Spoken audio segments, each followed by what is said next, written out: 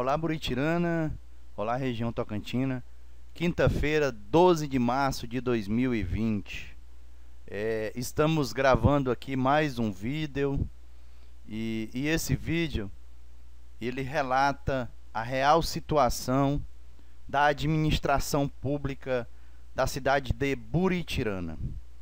É, a população em si não tem, às vezes, um certo grau de conhecimento para buscar essas informações devido a essa, essa constante mudança tecnológica.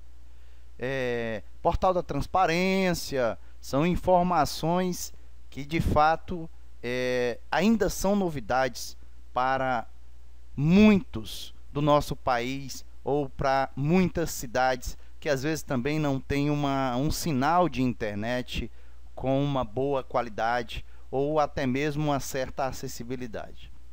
Nós estamos aqui no portal da transparência e estamos buscando informações de editais e licitações. É aí o X da questão. O portal da transparência ele está atualizado até o ano de 2020. Nós estamos atualmente no ano, aliás, perdão, está atualizado até o ano de 2019 e nós estamos no ano de 2020. Será que há uma transparência com relação à gestão pública para com a população de Buritirana? Será que há um compromisso dessa gestão em levar transparência, em mostrar quem são os fornecedores, quem são os servidores públicos, como foi relatado em um vídeo anterior. Então essa gestão ela tem sido desonesta. Ela tem roubado a confiança da população.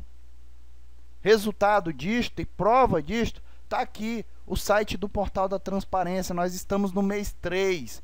Já foram realizadas diversas licitações. Está lá no Diário Oficial do Estado divulgações de licitações, de chamada pública. E a prefeitura ou o grupo do prefeito da atual gestão insiste em esconder isso da população.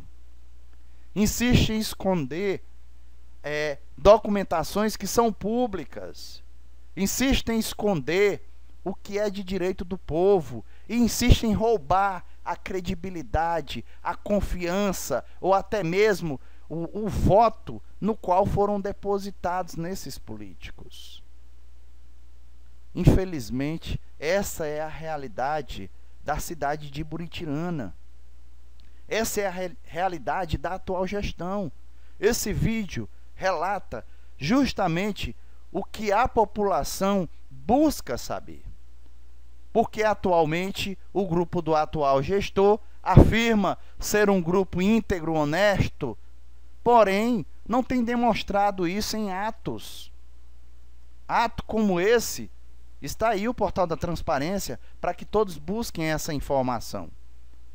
É só entrar no site da prefeitura e buscar lá o portal da transparência. Irão averiguar que realmente não há sequer contratos do ano de 2020. E eu abri aqui o de 2019, mas não se sabe se estão todos aqui completos, eu não conferi. Mas fica o questionamento, fica uma reflexão. Cidade de Buritirana, é esse o grupo, é essa a gestão que a cidade quer? Sem transparência, sem honestidade em seus atos? Então, fica a reflexão.